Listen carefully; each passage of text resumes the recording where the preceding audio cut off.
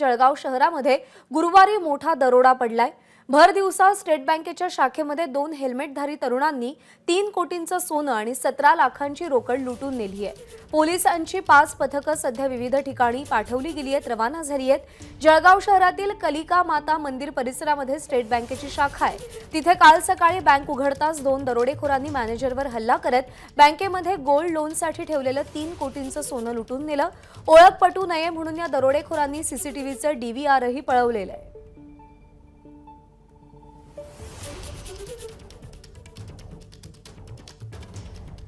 जळगावमधली ही कालची घटना आहे. स्टेट बँकेच्या शाखेवरती दरोडा घालण्यात आला. दोन हेल्मेटधारी तरुणांनी हा दरोडा घातलेला आहे.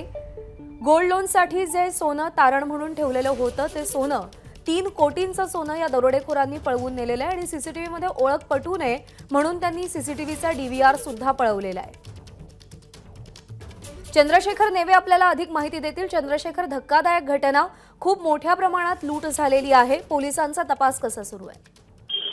प्रज्ञा अतिशय मोठी आणि धक्कादायक घटना ही काल घडलेली आहे. जळगाव शहरातल्या कालिंका माता मंदिर परिसरातल्या स्टेट बँकेमध्ये बँक उघडण्याच्या उघडता बरोबरच दोन अज्ञात हेल्मेटधारी तरुणांनी बँकेत प्रवेश केला आणि चाकूचा धाक दाखवून मॅनेजरवरती वार करून या ठिकाणाहून जवळजवळ तीन कोटी रुपयांचं बँकेमध्ये जे काही लोनसाठी ठेवण्यात आलेलं सोनं होतं ते आणि सतरा लाख रुपयांची रोकड या ठिकाणाहून पळवण्यात यश मिळवलेलं आहे. आपली ओळख पटू नये यासाठी जे बँकेमध्ये लावलेले सीसी कॅमेरे आहेत ते ते आणि त्याचं डीव्हीआर सुद्धा या चोरट्यांनी पळवून नेलेलं आहे. मात्र बँकेतून बाहेर पडताना एका ठिकाणी हे दरोडेखोर पोलिसांना निदर्शनास आलेले आहेत. त्या दृष्टीने पोलिसांची आता तपास पथकं विविध ठिकाणी रवाना झालेली आहेत. जे सराईत गुन्हेगार आहेत त्यांच्यावरती आता पोलीस आपला लक्ष फोकस करून त्यातनं काही हाती मिळतं का याचा तपास करत आहेत.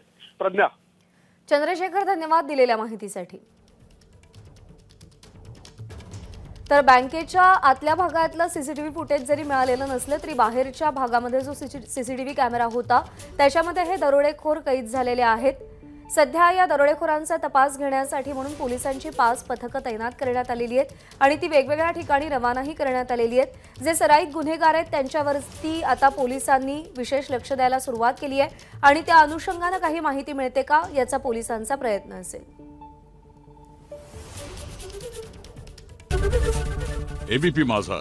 उघडा डोळे बघा नीट.